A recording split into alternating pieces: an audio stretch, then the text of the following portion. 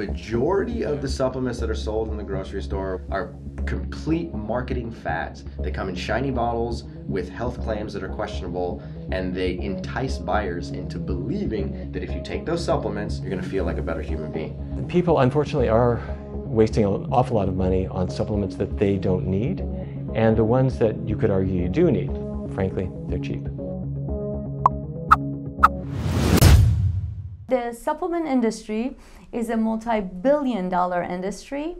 There's no studies to recommend that these supplements are actually helpful. All we know is occasionally we get these Instagram models and influencers holding up these bottles saying, you should take this because I take it. So there's no research behind it, there is no standardization, and so you don't really know exactly what you're getting. Um, but to name a few, collagen, bone broth, um, protein powders, um, let's see, probiotics. We have had, uh, you know, the probiotic industry is a billion dollar industry, and there's now evidence that probiotics could actually be harmful. So, my suggestion is when it comes to supplements, be careful.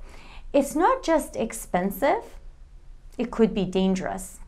If you stay up late at night and if you're looking at all these infomercials of how you know, this blue jellyfish supplement is going to expand your brain and you are going to be a genius tomorrow if you start eating it. There is no data to that. There's really There's no support. I think that the supplement industry is a thriving industry because it's another pill for an ill approach, short term band aid approach, and an approach that appeals to a lot of people because they love um, a quick fix solution. It's amazing to me that we never learned from the snake oil salesman.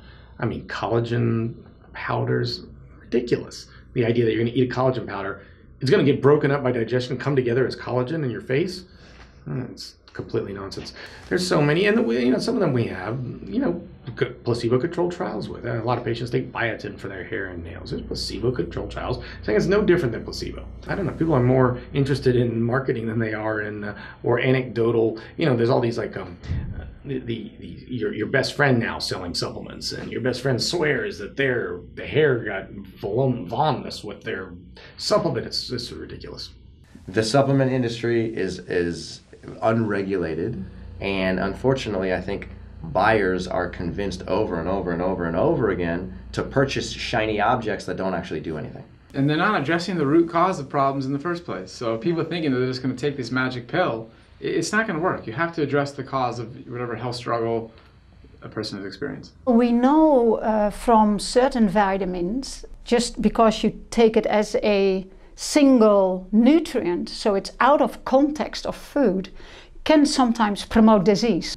There might be a risk in taking vitamins if you don't need them. Some people spend hundreds of pounds on all sorts of pills, and it's mostly expensive pee.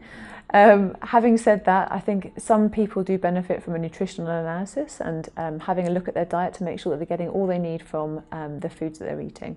And so, in terms of supplements or vitamins or minerals that are have not been shown to be efficacious um, to, to the population at large. What I would say is the fact that their studies have not really reported a strong benefit of multivitamins across the board and all the various supplements for altering disease states. So it's not something I recommend unless someone is not eating a diverse food array. There's a lot of bad advice when it comes to supplements. First, there are people who want to sell you the whole drugstore worth of things. Uh, so you've got to take this and that and all, all kinds of supplements, which you really don't need. You need vitamin B12. If you're not getting sun, you might need vitamin D, but that's about it. The supplement industry is massive, and there are so many supplements um, that are being promoted that people generally don't need to take on a regular basis. Some important considerations, however, would be to make sure that you're getting an adequate source of iodine in your diet, either through sea vegetables or through a supplement. Um, and then there are some supplements that can be helpful for patients with certain conditions, like um, you know curcumin or turmeric-based supplements can be helpful in pain relief, uh, or for people fighting certain diseases. Um, but generally, if we look at the breadth of the supplements, and I've actually had patients come see me Um, and they, I ask them to bring their supplements, and they bring a roller bag, uh, carry-on bag full of supplements, or two garbage bags full of supplements, and they're spending thousands of dollars a month on supplements. And they'll ask me, they say, Dr. Stoll, what supplement should I take? And I say, you know what, let's just zip that up, and I'm going to tell you what to eat first, and then we'll determine if you need any supplements secondary. So I generally recommend people start with food. Start with the healthiest living food that you can consume. Make sure you're covering yourself for any significant deficiencies.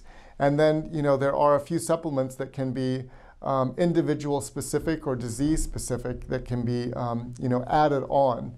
But, you know, the, the real source of health and vitality and restoration comes from food first.